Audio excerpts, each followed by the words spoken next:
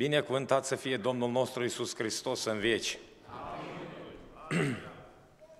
M-a bucurat, cum a zis un frate, în seara de anul nou, o zis cu ce să vă felicit cu anul nou sau cu nașterea Domnului Isus. Și el a zis așa, mai bine să vă felicit cu nașterea Domnului Isus. Și eu zic și eu, Domnul să ne binecuvânteze și felicitări cu nașterea Domnului Isus. Noi suntem aici din cauza Lui. De altfel eram împrăștiați fiecare după plăcerile și poftile Lui străini, fiecare după neamul și spița Lui. Dar Dumnezeu s-a îndurat și ne-a mântuit și ne-a făcut frați și surori în Domnul. Aleluia! un cuvânt care ați vrea să mă împărtășesc și el va fi așa ca un fel de îndemn pentru începutul acestui an și vreau să zic că și Scriptura vorbește despre începuturi, Scriptura vorbește despre ani și este bine ca la sfârșit de an, la început de an, să vedem ce zice Scriptura și în ce poziție suntem noi, pentru că viața noastră trece foarte iute și în Luca, capitolul 13, este descris pilda smochinului neroditor. Și acolo spune că vine și caută rod și anul este așa lui celălalt și nu găsește rod și se hotărăște grădinarul să-l taie, să-l scoată, să-l smulgă. De aceea este bine fiecare să ne cercetăm ca relația noastră cu Domnul să fie o relație bună. Textul de unde să-l citesc este din Ioan, capitolul 5, de la versetul 31, citesc un pic mai multe versete, dar nu aș chiar prea multe, dar o să mă opresc pe versetul 38, dar citesc mai multe împreună ca să putem înțelege contextul. Mă opresc pe versetul 38.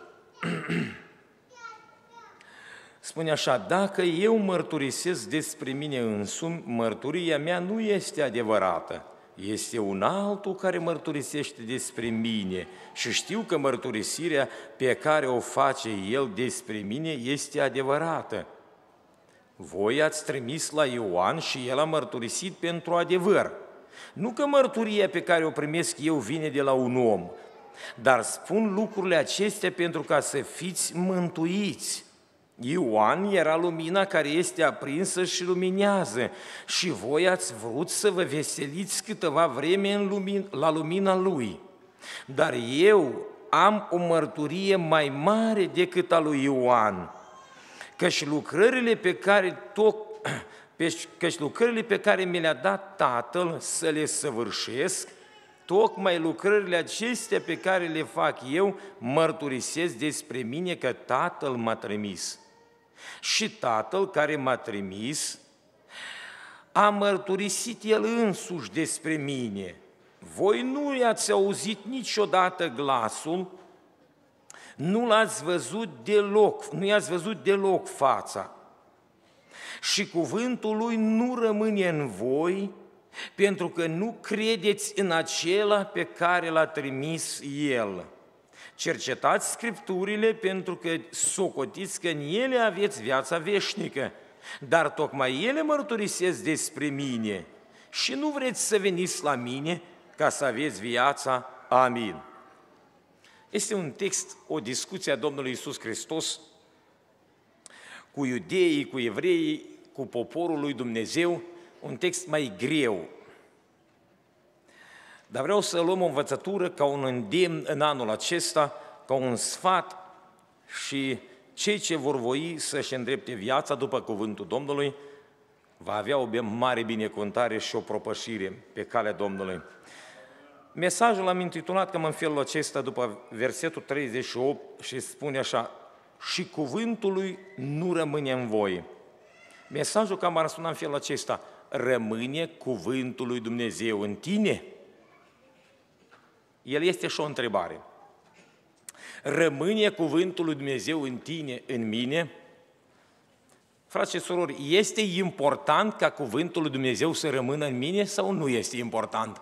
Dacă este important, ce rol joacă cuvântul lui Dumnezeu în viața mea?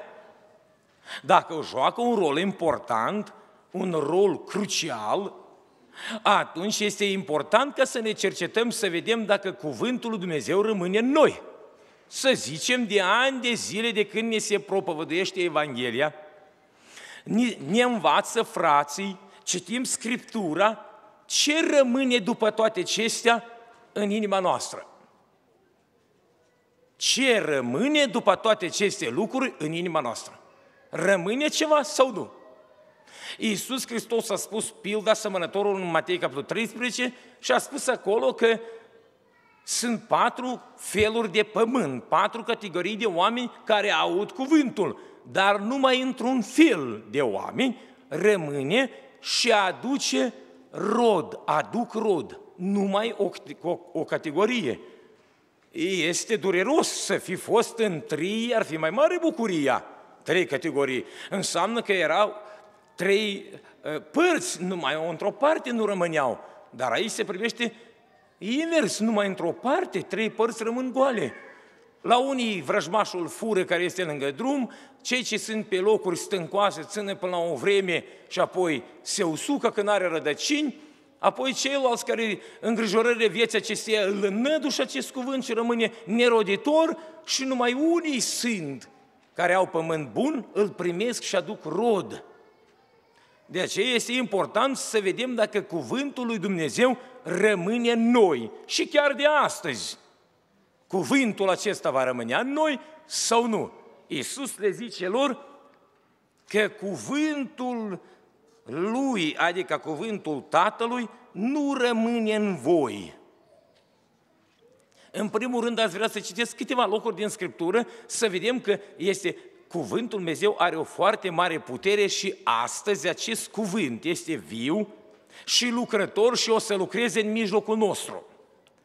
Acest cuvânt este viu și lucrător și sunt încredințat în inima mea pe deplin că astăzi acest cuvânt va lucra la inimile care stau deschise și care sunt gata și zic, Doamne, dacă ceva nu este bine în viața mea, eu sunt gata să schimb.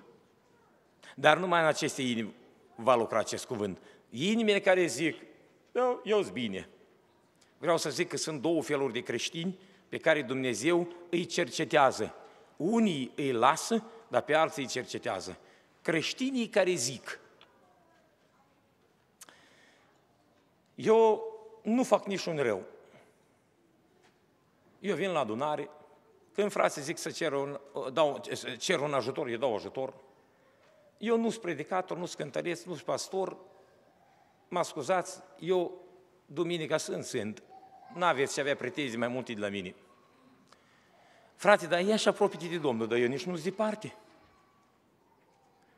Da, dar vezi că și eu spus Duhul Sfânt. Da, Duhul Sfânt a spus, uite cât sunt. Și el să socoate pe dânsul bine. Pericolul este pentru aceste persoane că ei nu se văd în nimic rău. Și așa cum au fost 20 de ani în urmă, așa sunt și acum, neschimbați. Ei sunt neschimbați, nu se schimbă. Asta este o categorie de oameni. Categoria aceasta de oameni sunt foarte periculoase, în sens că ei pot fi lăsați de Dumnezeu pentru totdeauna, așa neschimbați, așa și plec în pierzare. Știți de ce? Pentru că ei nu se văd în nimic undeva unde trebuie să se schimbe.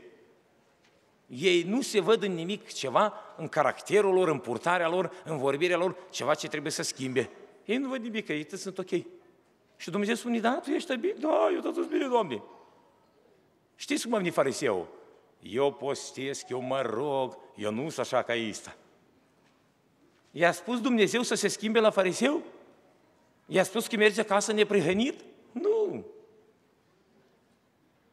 Altă categorie de creștini este, frate, cum ești? Băi, și și zic, bine, dar este loc de și mai bine. Domnul spune să ne apropiem și îi zic, Doamne, ajută-ne! Dar nu prea să mișcă să facă ceva. Dar recunosc că este nevoie, recunosc că trebuie. Și această categorie de creștini sunt un pic mai fericiți. Știți de ce? Că dacă ei recunosc și totuși nu se mișcă să facă ceva, are Dumnezeu ajutoare pentru așa persoane. Spune la Petru, 1 Petru, capitolul 4, să pare versetul 1, în limba rusă spune mai clar, că cel ce a suferit în trup a rupt-o cu păcatul. În limba rusă spune cel ce suferă, adică cel ce are durere în trup, boală, suferință, nu mai are nicio plăcere de, de toate lucrurile materiale. Adică o termină cu poftele ferii pământești. Și Dumnezeu în viața acestor oameni care zic că da, trebuie, da, trebuie, dar nu se mișcă să facă ceva, Dumnezeu în viața acestor oameni îngăduie ceva așa încât să-i ajute. Pentru că Dumnezeu pune preț pe mântuire. O, noi punem preț pe viața aceasta materială trecătoare. Nu toți și nu aș chiar în plin. Dar bine ar fi și am vrea să trăim măcar la 100 sau peste 100 și tot bine să fim și la bătrâniețe, nu așa niște, dar bine să fim și la bătrâniețe ca să ne putem bucura așa de viață. Așa suntem și creați, măcar o mii de ani să fi trăit. Dar vreau să zic că categoria a doua de creștini sunt mai bine înaintea Domnului, chiar dacă ei nu sunt bine, dar Dumnezeu îi bagă în cuptor și îi face bine, curăță. Este a treia categorie, este aceia care aud cuvântul și zic, Doamne, vreau să mă schimb după cuvânt. Și Dumnezeu spune, te ajut? Așa este cel mai bun variant. Dar prima este cea mai periculoasă. Te poate lăsa Dumnezeu în voia minții tale care ai zis, eu sunt bine și așa bine mergi. De aceea să ne smerim înaintea Domnului, să zicem, Doamne, cercetează-mă și dacă eu am crezut până acum că sunt bine, vreau să te rog să mă luminezi, să mă mustri, să mă îndrept ca să merg pe calea ta. Vreau să citesc ceva despre cuvântul Domnului. cuvântul Domnului, Domnul Iisus Hristos a spus în Matei, capitolul 4, vers, Matei, capitolul 4, în discuția lui cu vrăjmașul, cu diavolul, acolo în post când era, Iisus spune în capitolul uh, Matei, capitolul 4, versetul 4, este scris, omul nu trăiește numai cu pâine, ci cu orice cuvânt care iese din gura lui Dumnezeu. Mă scuzați de așa o expresie dacă spun, dar da un om când mănâncă și după ce a mâncat a vomitat tot înapoi, e poate ajuta mâncarea ce a mâncat-o el? E va folosi la ceva? Nu. El a mâncat și a vomitat. Mâncarea n-a rămas în el. Cuvântul Domnului este o hrană pentru sufletele noastre, pentru omul nostru din lăuntru. Și dacă cuvântul Domnului nu rămâne în mine, spuneți-mi, cum o să fiu eu? Flămând sau sătul? Flămând. Dacă eu n-am mâncat cinci ani, ce mai poate fi din mine? Viu sau mort? Fără îndoială. Merge vorba despre vitale că este viu, dar Dumnezeu spune, tu ești mort. Cum, Doamne, mort? Da, creștini morți creștini morți, cum nu? Petru spune, sau Iuda, mi-aduc aminte, de două ori morți. Dacă tu nu te hrănești cu cuvântul Domnului, tu ești în pericol, tu mori. De aceea este important ca acest cuvânt să rămână în noi. El are viață pentru omul nostru din lăuntru, ca să ne dea viață veșnică să fim cu Hristos în veșnicie, avem nevoie de hrană aici pe pământ. Și vreau să zic cu bucurie, de fiecare dată când ne andăm la biserică, Dumnezeu pregătește o masă pentru noi. Dar numai cei flămânzi vin și mănâncă. Numai cei însetați vin și beau. Numai cei care doresc cuvântul Domnului. Acei sătui nu vin. Acei sătui vin cu pretenzii aici e prea echiparat, acolo e prea sarat, e prea fierbinte, e prea așa și e prea așa. Și cu ce mergi acasă? Eu am a meu, frate. Tu ești și povar, tu tot și pregătești, tu, tu, tu mănânci. Dar unde găsești tu asta? Eu găsesc în Scriptură că Dumnezeu a dat pe unii. Și nu vreau să zic că nu, nu poți fi și dirijor, și pastor, și proroc, și evanghelist. Nu se poate. Dumnezeu a dat pe ăștia așa, pe ăștia așa, pe și așa, ca toți să lucrăm în armonie. Dar dacă tu ești un unul care toate le faci, ești un, parcă un zeu, nu am zis un Dumnezeu, atunci ești în mare pericol. De aceea trebuie să venim la biserică cu gândul și cu foame, cu gândul că Domnul a pregătit hrană și cu foame ca să mănânc. În numele Lui Iisus Hristos vă rog să ne cercetăm și să vedem cum venim și de ce venim la biserică. Să mai scrim în caiet ceva în mintea noastră cum a venit aici și cum a venit aceala, cum a predicat, cum a vorbit, asta este foarte periculos, sufletul îți rămâne fără hrană și foarte curând vei merge spre moarte. Foarte curând. Nu este de nimic. nimic. A doilea lucru care vreau să-l citesc este despre cuvântul Domnului. Romani, așa mă după rând cu Mary Romani, capitolul 14 spune, m-a scuzat, 15,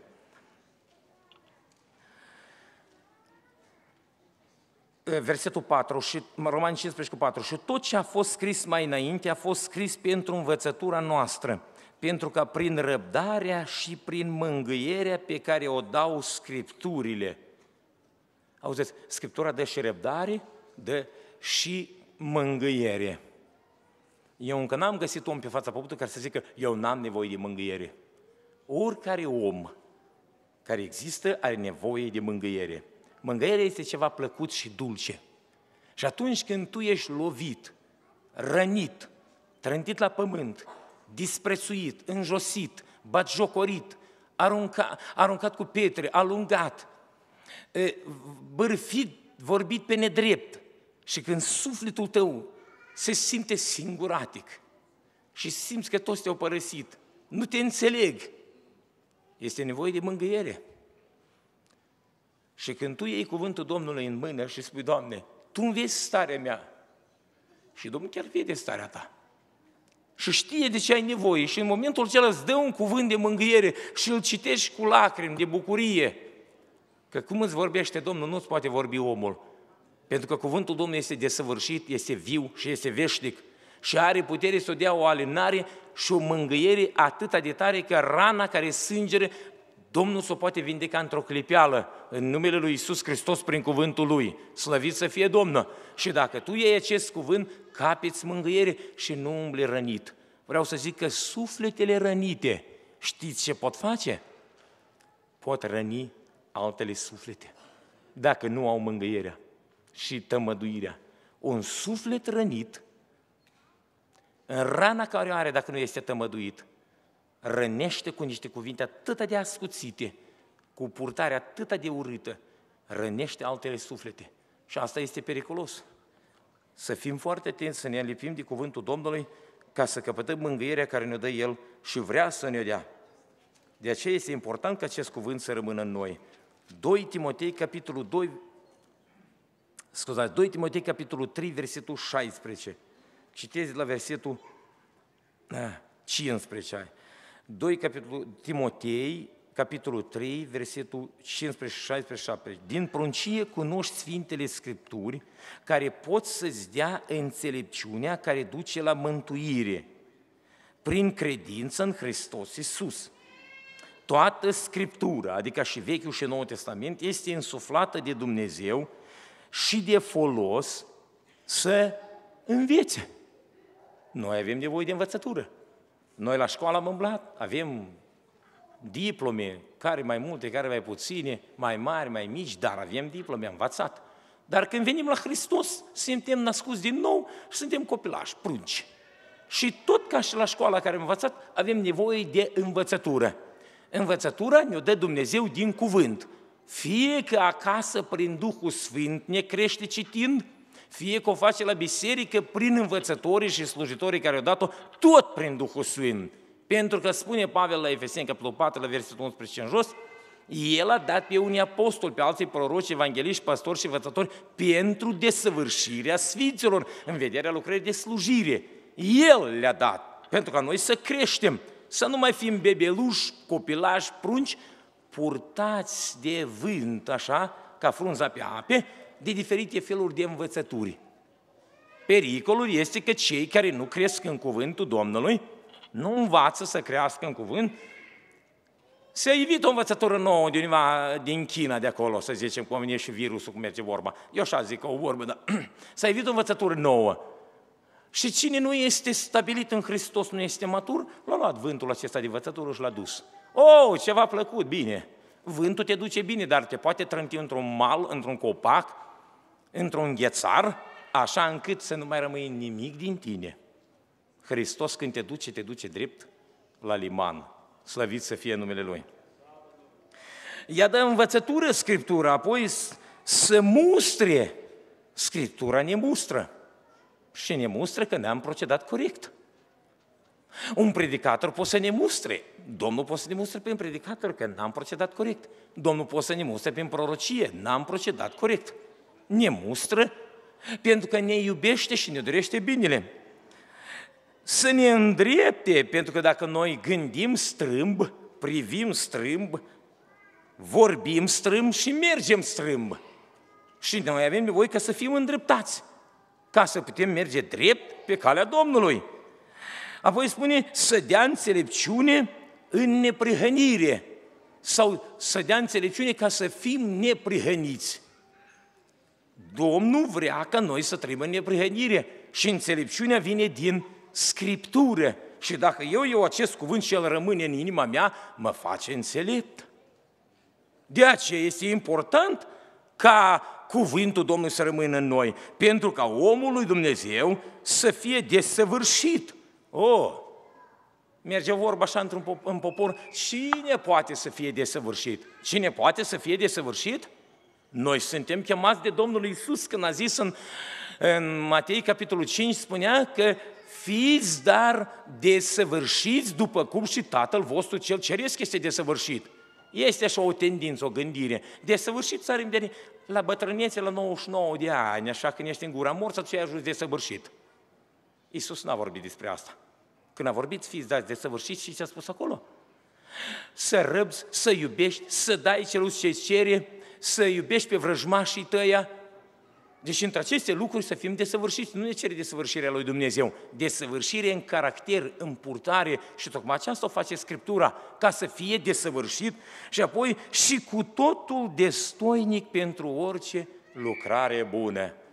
Mare har ar fi dacă noi ne-am lăsat prelucrați de cuvântul Domnului, Dumnezeu face lucrări minunate. Și nu numai prin slujitori. Vreau să zic că ar fi minunat dacă ne-am lăsat prelucrați S-ar scula frații cum acum, iată, se face rugăciune de nevoi și ar zice, frații surori, vreau să mărturisesc ceea ce a făcut Domnul în stămâna asta. Într-un moment dat am simțit călăuza Duhului Sfânt și Duhul Sfânt mi-a zis, du-te acolo și fă asta. Și m-am dus și am făcut asta și uitați ce s-a întâmplat. Dumnezeu a salvat un om. Dumnezeu are lucrări să vrea să facă. Și El o face cu cine se curățește, se pune la dispoziția Lui, se lasă prelucrat de cuvântul Lui, Dumnezeu îl folosește pentru lucrările Lui bune. Slăvit să fie numele Lui. Mai citesc un text, spune Apostolul Iacov în 1 Iacov, capitolul 21, de aceea le pădați orice necurăție și orice revărsare de răutate, și primiți cu blândețe cuvântul sădit în voi, care vă poate mântui sufletele. Frații și surori, cuvântul acesta are putere să ne ducă în cer, în mântuirea veșnică care a pregătit-o Hristos. Dar trebuie să-L primești, să rămână în inima ta. Mă întorc înapoi și citesc ceea ce am citit de la început, Ioan, capitolul 5, versetul 38, spune Domnul Iisus,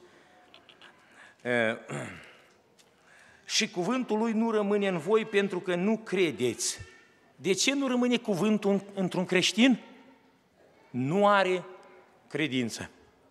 Frați și surori, necredința este o răutate, o stare foarte rea. Este cel mai greu păcat care poate exista în omenire. Știți ce a spus Domnul Iisus Hristos? În ce privește păcatul, a spus el, că ei nu cred în mine.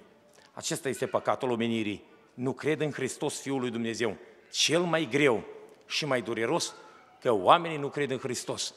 Necredința distruge, nu lasă cuvântul lui Dumnezeu să lucreze în viața omului. Necredința. Și Iisus zice, acest cuvânt nu rămâne în voi. Frați și surori, de ce cuvântul Dumnezeu nu rămâne în noi? Pentru că noi nu avem credință. Cei ce au credință, cuvântul Dumnezeu rămâne în inima lor și lucrează.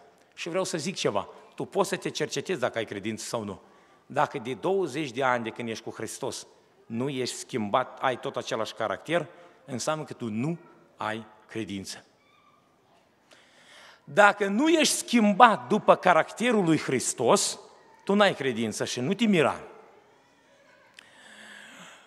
Astăzi Dumnezeu la început de an vrea să-ți spui ceva. Cum să scapi de această necredință?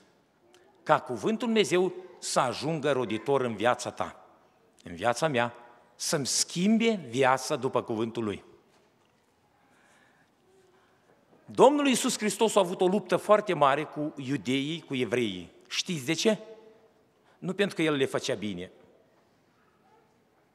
Ei nu credeau că El este Fiul lui Dumnezeu. Dacă El ar veni cu ceva scris, să ia analize la sânge, să-i controleze, să vadă că El este Hristosul și atunci când înțelegeau că este Hristosul, o, te primim! Iisus n-a venit să le convingă că El este Hristosul. Iisus a venit să moară pentru păcatele lor. Ei aveau scriptura care le zicea despre venirea Lui. Dar fiindcă ei nu credeau în ceea ce spune Scriptura, n-au crezut nici în cel ce a venit după Scripturi. Acum vreau să zic cum a ajuns necredința în inima noastră și cum să o scoatem. Cuvântul Lui Dumnezeu este desăvârșit și are aceeași putere ca și pe timpul Domnului Isus și acum nu s-a schimbat puterea. Necredința aceasta s-a sălășuit în inimile poporului lui Dumnezeu cam în felul acesta. Evrei, capitolul 3, spune așa, versetul 18 și 19. Și cui s-a jurat el că, nu au, că n-au să intre în odihna lui? Nu s-a jurat oare celor ce n-ascultaseră? Observați, neascultarea. Apoi, vedem dar că n-au putut să intre din pricina necredinței lor. Vreau să zic că ascultarea aduce credința. Ascultarea de Dumnezeu, ascultarea de glasul Duhului Sfânt aduce credința. Neascultarea de glasul lui Dumnezeu care vorbește în Scriptură, care vorbește în inimă, neascultarea aduce necredință. Versetul 2 din capitolul 4. Căci nouă Căci și nouă ni s-a adus o veste bună ca și lor, dar cuvântul care le-a, propă, le-a fost propovăduit nu le-a ajutat la nimic, pentru că n-a găsit credință la cei ce l-au auzit. Fiți foarte atenți, stau doi oameni lângă unul lângă altul pe bancă. Unul are credință și unul nu are. Cel ce are credință primește cuvântul, se întărește și merge acasă binecuvântat, cel ce nu are credință se usucă și merge acasă tot mai rău și spre moarte. Și amândoi stau la aceeași masă. Numai unul nu are credință, dar unul are credință. Pericolul este foarte mare. Să asculți sute și mii de predici, să citești de câteva ori, de zeci de ori Biblia în viața ta și la urmă să pleci în perzare. De ce? Cuvântul nu este bun? Cuvântul este bun. Hrana n-a fost bună, a fost bună. Necredința n-a dat voie să lucrezi acest cuvânt în viața ta. Cum să scapi de necredință? Întâi trebuie să te pocăiești de neascultare. Când s-a vorbit Domnul prin Duhul Sfânt, din Scriptură, prin prorocie, prin predică, prin cântare, prin un verset, o poezie, când ți-a vorbit Dumnezeu și n-ai ascultat, știi ce ai zis? Ok, mai fac treaba asta și așa și apoi așa mă apuc. Știi ce ai făcut? L-ai ascultat pe vrăjmașul care te-a înșalat și ți-a zis, lasă pe mâine. Dar mâine te-a încărcat atât de tare cu lucru că a zis, a, pe poi mâine. Apoi după o săptămână ai uitat, dar peste o lună nici nu ți-ai adus aminte și peste un an de zile Dumnezeu iar vine și îți vorbește. Un an de zile trecut de când Dumnezeu mi-a vorbit și apoi mai trece tot așa și mai trece tot așa. Știți ce se face cu inima? Se împetrește ca diamantul și nu mai pătrunde nimic în ea. Cum să scap de această inimă rea și păcătoasă împetrită? Post, smerenie și rugăciune. Vii înainte Domnului cu căință și spui, Doamne, am fost un neascultător și răzvrătit. Am stat pe bancă și am ascultat și am auzit de atâtea ori prorocii și descoperiri de atâtea ori și nu a pătruns acest cuvânt în inima mea. Nu m-a schimbat. Vin înaintea ta și mă mărturisesc de neascultare și de necredință. În, nu, în momentul când vii și îți mărturisești aceste nelegiuiri, starea aceasta grea de neascultare și de necredință, sângele lui Hristos despre care am cântat și s-a vorbit, s-a citit, are puterea să te spele, să te curățe.